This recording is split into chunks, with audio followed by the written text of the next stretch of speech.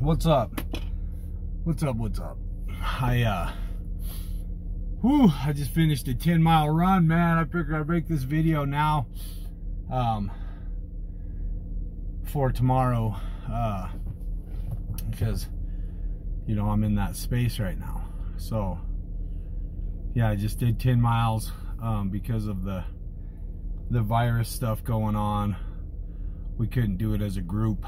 We had to do it as a virtual run. And um, I did okay. I did about my my average. I paced at 12:24. Um, my average pace. Anyway, yeah, this journey to the highest version of myself is kind of neat. You know, like like uh, taking a look at the scare in the world and the fear going on and the fear inside myself, like what I'm worried about and what Avery's worried about. She's a little freaked out and me having to be a little more diligent with, with being kind and supportive on that because who knows, right? Like she sure don't know. She certainly doesn't know. I certainly don't know.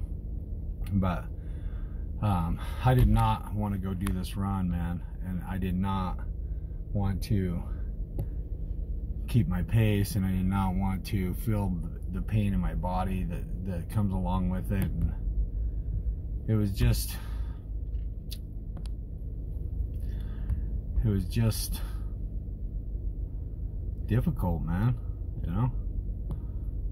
The world scare going on I kind of just want to put my head in the in, in the sand and I don't get to do that the highest version of myself stays present. The best me possible stays awake and vigilant and open-minded to whatever comes. Um, I'm going to really try to enjoy this time of shutdown that we're having. Um, one thing that I noticed for sure is a lot of people are out, man. A lot of people are out riding their bikes, walking with your kids, you know, connecting with each other. Um, people are being friendly where I'm at. It's not a hostile environment, you know. People are saying hello and opening doors for each other and, and bumping fists. You know, this is what I see. I see this world being beautiful and talented and connected, you know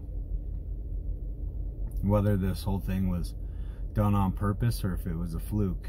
One thing that I, I do believe is that we as a, as a species, humans, mankind, will come together and prevail. That's what we do.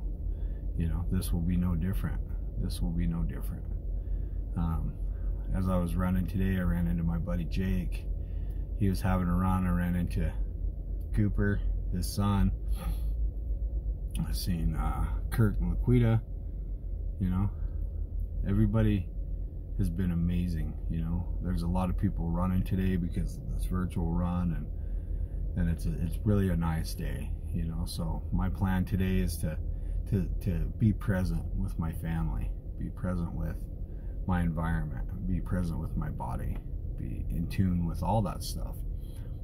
Uh, I think it's important that all that stuff happen you know super hot man You can't really tell, but Jesus, man, I'm fucking burning up from that run. 10 miles. 10 miles. That's one mile times 10. You know? You can walk through most cities.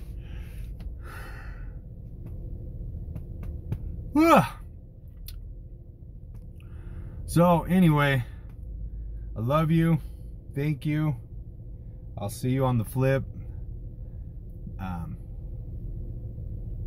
it's definitely worth it being over